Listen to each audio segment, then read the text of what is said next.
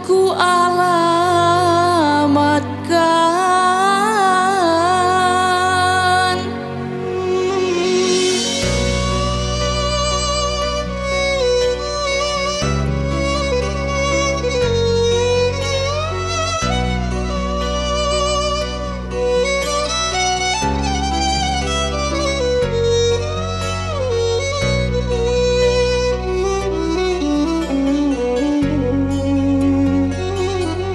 Telah ku terima suratmu nan lalu.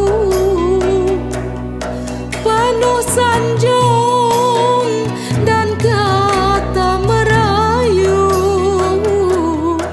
Syair dan pantun tersusun indah. Sayang Bagaikan sabda fatwa pujangga